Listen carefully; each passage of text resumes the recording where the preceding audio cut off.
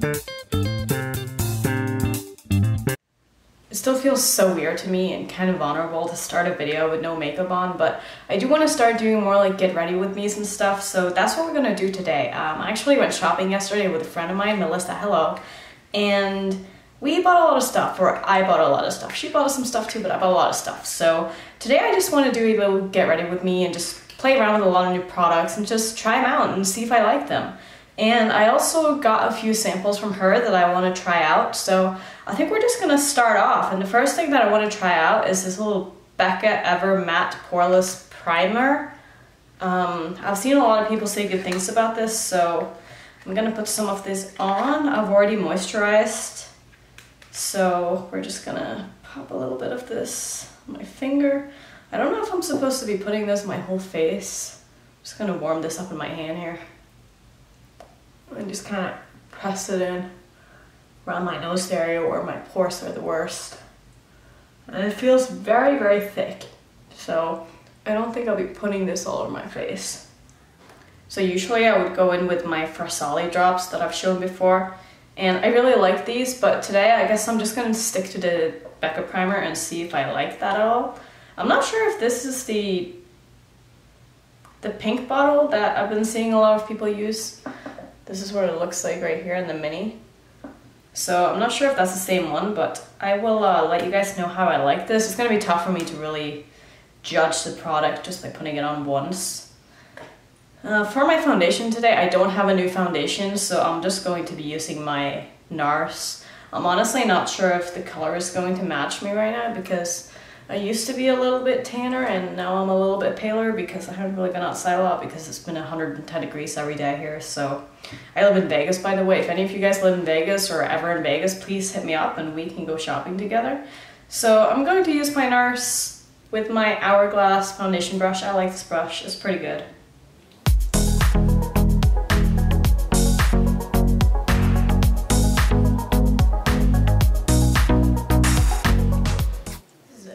Not going to be a tutorial. This is just me putting on makeup, trying some new stuff, letting you know how I feel about them, and just, I guess, you getting to know me a little bit better.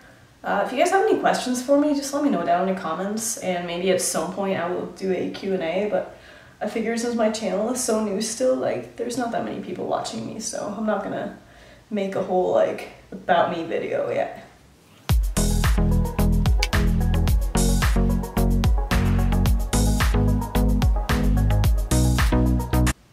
So I'm not sure if you guys know, but I always film all my videos in natural lighting, so what you see on me is probably a pretty good representation of how it actually looks in real life. So next I'm going to go in with my Tarte Shape Tape Concealer, and I'm using the shade Light Neutral.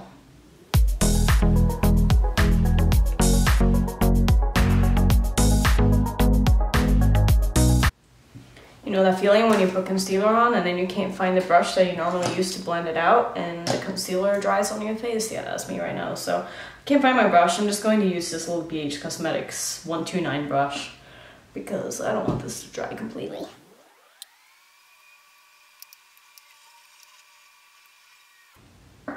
And I like to just go over my concealer edges with my foundation brush after I'm done blending it out, just to make sure that there's no harsh transitions. And to set, I'm going to use my Cover FX Loose Powder. I'm going to use a little brush to set under my eyes first. I don't really like to bake because I do tend to have some lines under my eyes. I mean, I'm getting older, so that's just what happens. And I'd love to know how old you guys think I am. Just leave that down in the comments and I would love to read it because I think you'll all be surprised if you knew my age. And to set the rest of my face, I'm going to use a large fluffy brush from BH Cosmetics.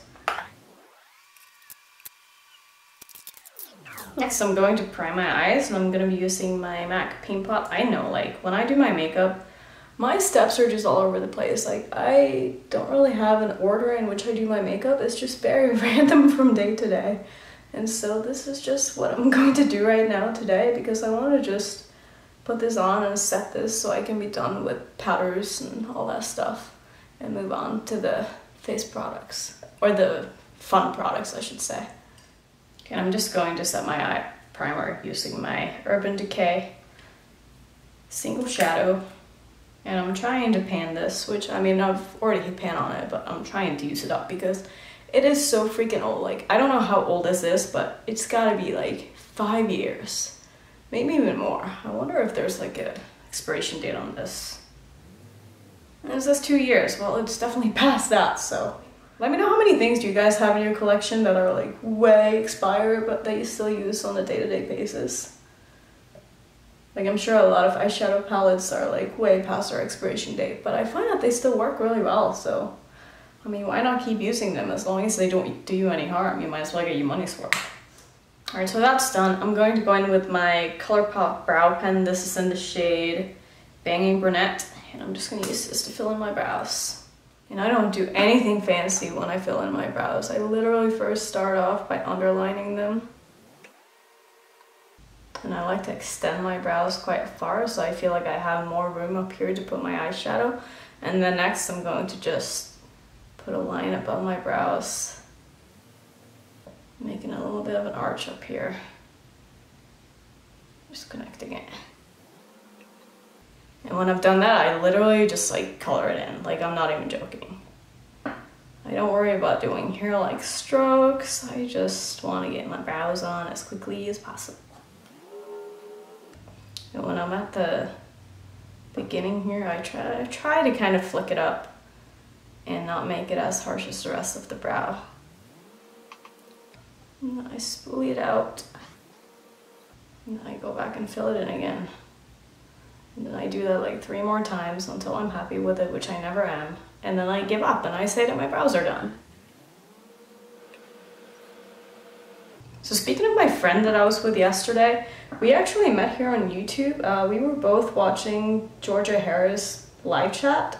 I will link her channel down below if you haven't watched her yet, but she's great. She's really funny. I love her channel so much. But we were watching her live chat and we were in the same chat room and I don't know how we got on the topic of of Vegas, but somehow we both figured out that we lived in Vegas and we started DMing each other on Instagram and then not long after we were like, hey, let's go shopping together. So we went shopping and now we're friends. So that's really cool. It's cool that you can meet people online like that these days.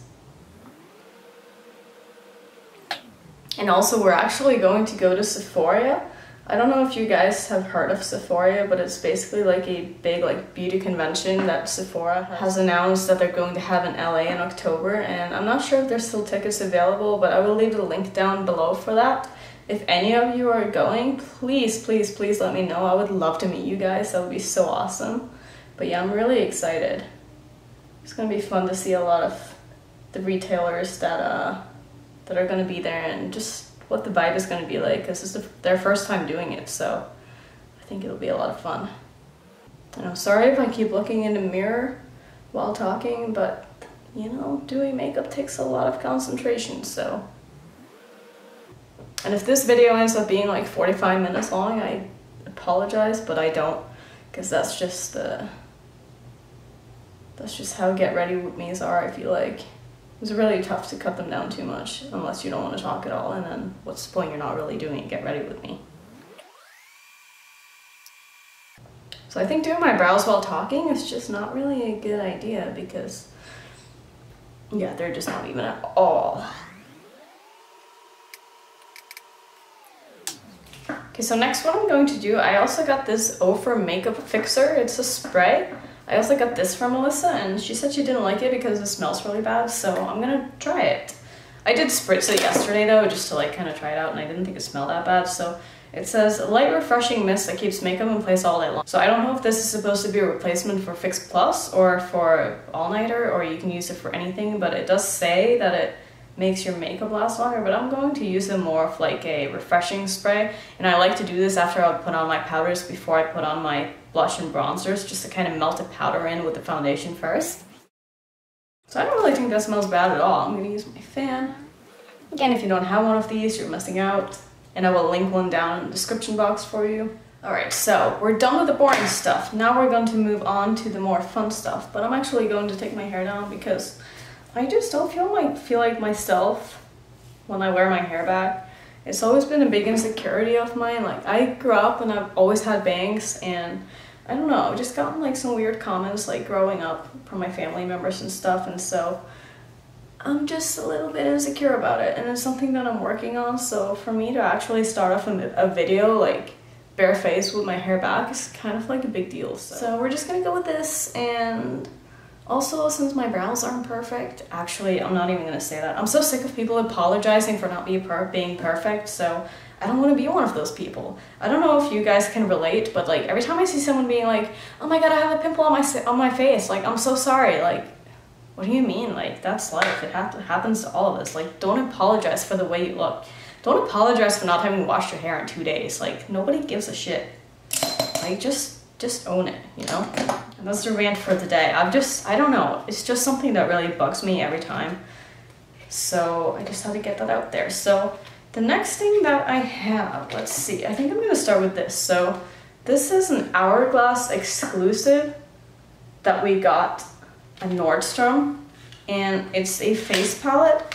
I don't know if you guys remember or if I even talk about this, but I said I wanted to get their new holiday release that's coming out this fall or Christmas. I will put up a picture like right here so you can see which one I mean. It's a six pan palette that had like blushes and bronzers and highlighters and stuff in it. But then I saw this. And so basically you have a highlighter, a blush, and a bronzer, and I think this is perfect. Like this is so pretty. So I'm going to first go in with the bronzer and see what that looks like. I don't know if there's a name on this. If this is still available, I would put, a link down in the description box and you can see if you can find it on uh, Nordstrom's website. But they were pretty much sold out. So this is, these are all in the light versions, so we have diffused light, diffused heat, diffused bronze light. So I'm going to tap into the bronzer. Let's see how this looks. I'm not really seeing much of anything to be honest. Do you guys see anything? I don't see anything. I don't know how I feel about that. And now that I'm like looking at this packaging, there's like a little tester sticker on the back of it. And I'm kind of wondering if they put one of the testers in a package and sold it to me. Like, that is just not cool. Not sure how I feel about that. I'm gonna have to probably take this back and return it. But I'm still going to try it out. I don't really like this bronzer. It doesn't have a lot of pigment. I mean, I'm seeing a little bit. It just takes a little while to build up. So, I mean, it's fine. I can't say I love it. It looks okay. I'm going to try the blush as well, I think. Let me just see here. So I also got this Dior Backstage, and this is like a face palette. I'm gonna show you what it looks like. I've been drooling over this for so long. And I really told myself that I wasn't going to get it because it's so expensive, but we went to Sephora and I looked at it and I asked Melissa, do I need this? And she said yes and put it in my cart, so. Why are these things so hard to open? don't understand. It's like they don't want me to use it. Okay, so here's what the palette looks like. I'm gonna read what it says on the back. So it says strobe white, strobe gold. So the top ones here are both highlighters, and then it says blush pink and blush bronze. So I'm not sure if these are blushes and bronzers. Let's see if I can show you up close because they have they have shimmer in them. But I think I want to go in with this. Or maybe I should go in with the hourglass first and then I can use that as a topper. Let's try that. So I'm going to dip back into my hourglass. And this looks like it's got more pigment to it. Oh see this I really like this is really pretty yeah I like this a lot more than I like the bronzer See, that one's pretty good, even in the viewfinder, so I'm okay with that, but I don't know how I feel about this saying it's a tester. Hmm. Okay, I'm going to also dip into this pink shade right here just to see if I can put a little bit of topper on here. And I actually like how that looks a lot. I'm gonna put a lot more on and then I'm gonna show you a little bit close up and it definitely has some sheen to it. So if you don't like a shimmery blush or bronzer, you're not gonna like this. But I don't mind it at all, so let me get up close And I'm not sure if you can see this compared to this side. But yeah, I like this a lot. I think that's really pretty. Gonna put some more on this side.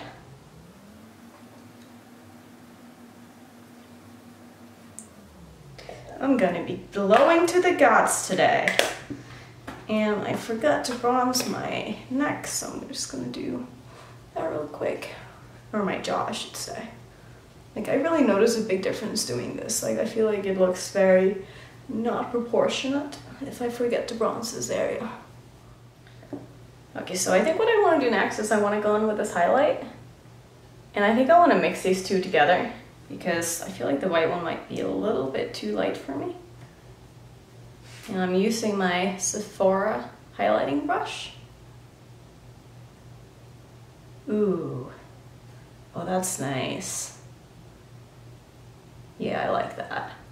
This palette, I, I love this. Hourglass palette on the other hand, not so sure about it. Like, I feel like if I'm going to buy a three pan palette for $65, like, I need to love all of them and not just two of them. And so, I'm gonna try the last one here. I am honestly not sure if this is one of their finishing powders or if it is an, a highlighter. I'm gonna look that up real quick. It's called Diffuse Light. So I'm just gonna pull out my phone and Google that because the finishing powder that I have is called Ambient Lighting. And I just wanna make sure Okay, so this is the finishing powder, so I'm gonna use it for that. I have a very specific brush that I like to use for this, and it is the Morphe G7.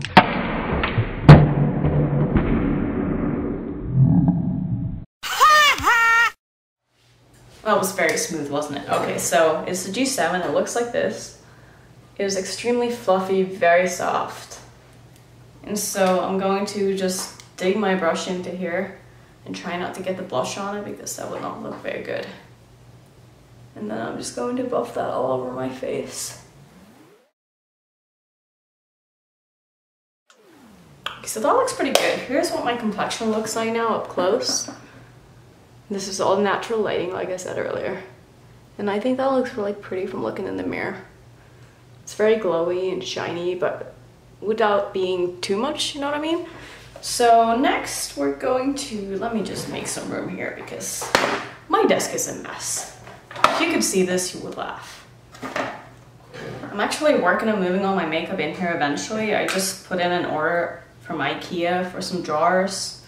And I also got like a clothing rack that hopefully I can put like behind me and then use as a backdrop. And I bought some fabric and stuff. So we'll see how that goes. Like, am I a beauty guru yet or what? Like, It is so funny to me because I didn't think that I would take this as seriously as I do. Like when I first started making videos, I was like, eh, maybe I'll make a video a week. And then I start making videos and now I've been putting up a video every day. So needless to say, I think I'm a little obsessed with this and it is so much fun. Like I've, I've been really enjoying it and I'm so happy that you guys are enjoying it too and that we're kind of like growing a little family together here. I think that's so awesome. So let's see, what do we want to do next? Is it time to move on to eyes yet?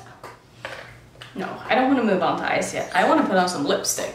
And so I got this new Hourglass, one sec, this new, it's not even the right way. I can't see, that's like, yeah, either way. So I got this Hourglass lipstick and it looks so freaking sleek. Have you seen anything like this? It looks like a weapon. Like I could stab someone like this. I could kill someone, I'm pretty sure if I tried.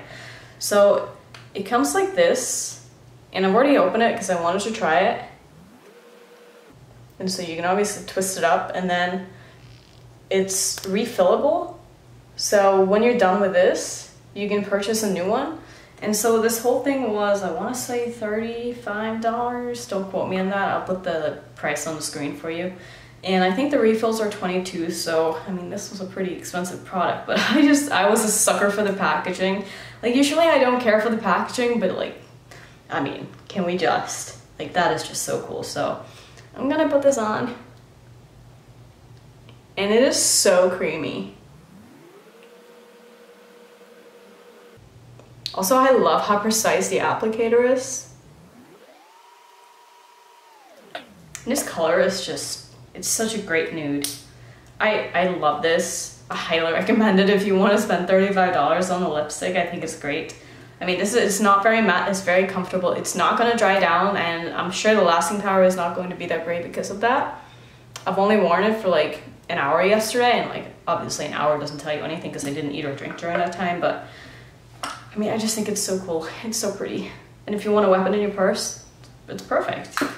So if you guys have seen my new Juvia's Place review of the Afrique palette, I also ordered this, which is a Masquerade mini palette. It looks like this. And honestly, I I think I made a mistake when I ordered this because I've been looking on their site for a while and I put the Magic Mini in my cart and when I went to check out, it said that the Magic Mini was still in my cart even though it was sold out on their site. So maybe somehow they swapped it out with this palette or maybe I clicked the wrong button or something and I ended up with this, but I mean, I'm not mad about it. It's not a palette that I probably would have bought, but now that I have it, I'm not going to return it, but because I at some point would like to have all the Juvia's Place palettes because I think they're an amazing brand and I like to support them and I like the quality of their products. So I'm gonna keep it and I'm going to be using it on my eyes today.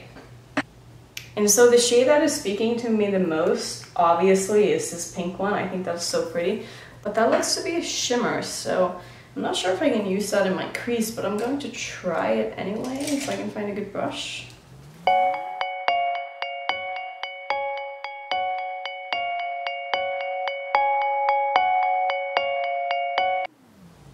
And this is going to be a fairly simple look today, even though it's colorful. I'm only to be using three shades, I think. Not like I did in my other video where I used all 12. But that was a fun video. If you haven't seen my review slash using all the shades in the palette that I did with the new Juvia's Place, then I will put put that up in the card so you can go check it out. I'm actually really happy with how that video came out, so if you haven't yet checked it out, please do. Next, I'm going to take the purple shade right here. And I'm going to use this to deepen up my crease a little bit.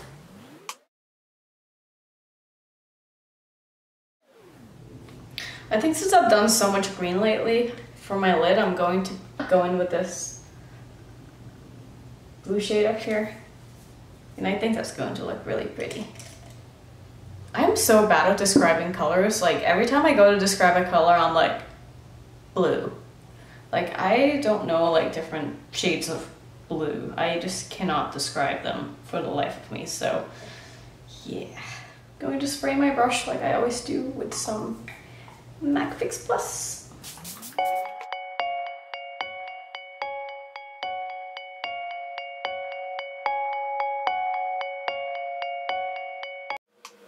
Is it just me or do a lot of people like cut their crease unnecessarily? Like I feel like especially with colors like Juvia's Place, like the pigment is so amazing that you don't need to cut your crease every time. Like I see people doing it and then I just cover it up again afterwards and I'm like, what's the point of that? Like you just wasted 10 minutes. Like yes, there are times for cut creases, but just because it's a trend right now and everyone is doing it doesn't mean you have to do with every look you do. Like I can understand doing it if you're like an Instagram like makeup art account like because cut creases always look really fancy and complicated and they show off your skills and stuff but if you're a regular person you don't need to always do a cut crease you know so I'm gonna go back in with that purple shade and I'm just going to blend these two together and also another rant just for regular people like myself your makeup doesn't have to be perfect. Like you don't have to post a picture that looks absolutely incredible for every single look you do. Like it's okay if it's not perfect. Like it's still gonna look good. Don't think of it as doing your makeup for Instagram if you're just a normal person who enjoys makeup. Like just don't sweat it. Makeup is supposed to be fun, not stressful. I see so many people posting on my Instagram story, and these are the people that I unfollow, and they're like, oh my god, I have to do a look today, or oh my god, like I wasn't happy with how it turned out, so I didn't want to post it, but I posted it anyway, and then I posted it, and it's literally perfect. Like, guys, we need to not be such perfectionists. Like, it's okay to not be perfect. Like, you'll never be perfect. I'm just gonna tell you right now. That's just, it's how life is. You're never going to be perfect. I'm sorry to break it to you. And you should just stop trying because you're gonna run yourself into the ground. So, that was the lesson for today. And I think I'm just, yeah, I just wanna have fun with makeup and I don't wanna take it so seriously.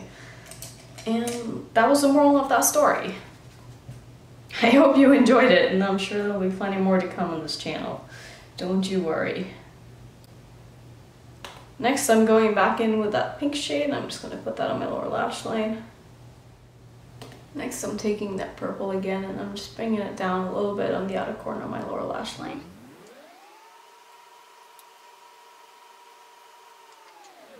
So I know I'm very late to the game on this, but I've never seen these in store before, and these are the Urban Decay Heavy Metal Liners. I've seen Tati use it a few times and I know she loves it and I know a lot of people love it so I'm really excited to try this. I got this in the shade Distortion and it's a, it's kind of got like a white base with the yellow glitter in it. I'll try to swatch it for you right here. I don't know if you can see it. But it's really pretty and I'm going to put this in my inner corner. That is so pretty. Guys, I just, I have a love affair with glitter. I you can't help it. I'm also going to pull this up on my lid a little bit.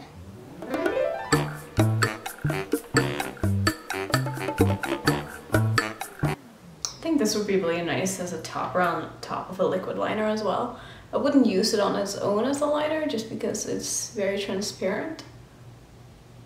But on top of shadows and on top of other liners, this is really pretty. It reminds me a lot of the Stila glitters actually.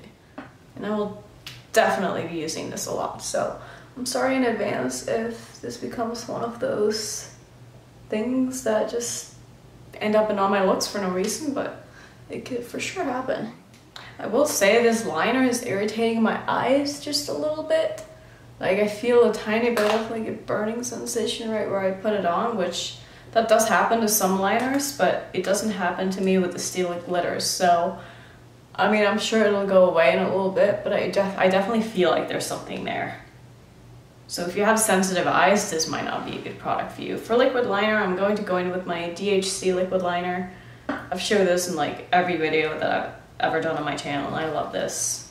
And this was a recommendation from Samantha March, if I'm not mistaken. I will leave her channel down below as well, and I really love her.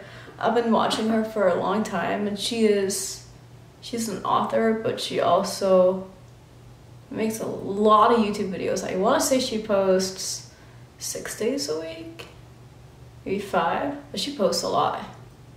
And her videos are really good. She's really funny. So for my waterline, since we are going pink today, I'm going to put this Wet n Wild pink pencil in there.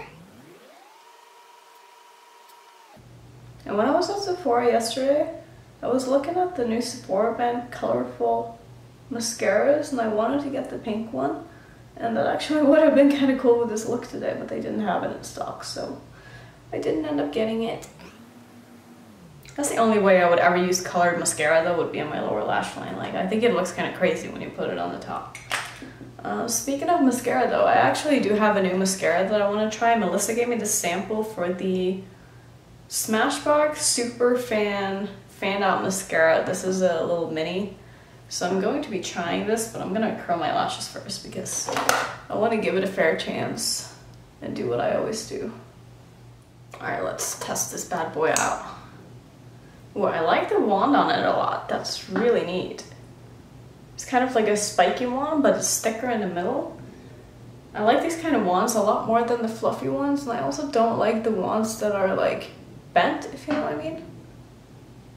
So I've never tried a mascara from Smashbox. I don't even know if this is new or not. It does separate my lashes. not seeing a lot of length though. I love the wand, but I don't like the formula of the mascara that much. I feel like this will be a lot better on my lower lashes than on my top lashes. Because I do like a little bit more fullness to my lashes, but I don't like them to be clumpy. And they don't get as long as I like them to be with this. Like you have to really build it up. And keep in mind, I have pretty long lashes to begin with, so what might look like it's doing a lot for me, it's not doing that much. Let's see. Okay, it's not bad. It just needs a little bit of work. And I do like how I can really get into like my inner corner and get all those little lashes in there. How often does this happen to you guys? I feel like it happens maybe once every two weeks or so.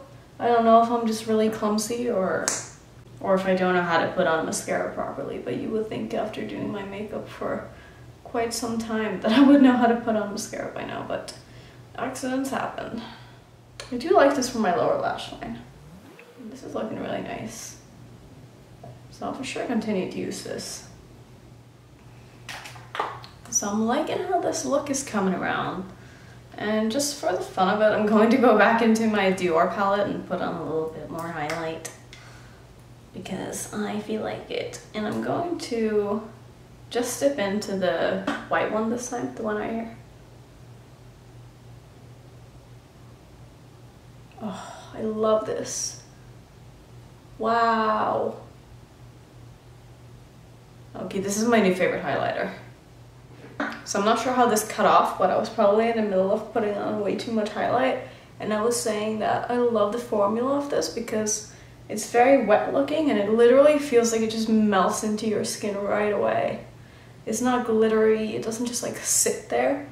And it blends very well into my blush and it just looks amazing. I put a little bit on my nose. I don't really understand why people put highlights on their chin, but since I'm a beauty girl now, I guess that's what I gotta do, right? So I'm really just waiting for my mascara little clump here to dry, so I'm gonna scrape that off. Okay, let me see if I can get this little mascara accident off. I don't have another spoolie around, so I'm just gonna use the one on the back of my brow pen. Oh, look at that. Comes right off. That was easy. So I guess that was my first get ready with me. I hope you guys enjoyed it. And if you want to know more about the products that I use, I will try to link them all down in the description box. I don't know if they will all be available.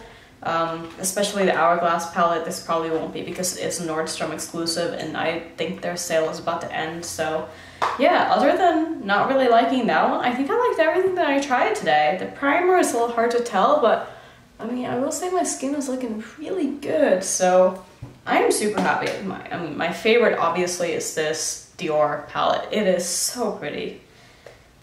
I mean, Dior is not a brand that I'm usually attracted to, but their new collection, the Backstage collection, is just, it's to die for. Like, I never thought that I would end up getting a face product from Dior because it's expensive, but I love it. So I think that was it for today's video. If you guys want to see more of these kind of videos, let me know. And it's very easy for me to sit down and talk and hopefully, you know, I'll be able to edit this down to a decent amount of time and not have it be an hour long. But yeah, thank you so much if you stuck around for this whole video. Thank you so much for watching. Um, I really hope you enjoyed the video. And I'm sure you did if you're still around. So thank you so much. And let me know what else you want to see on my channel. And I will just see you in my next one. Bye.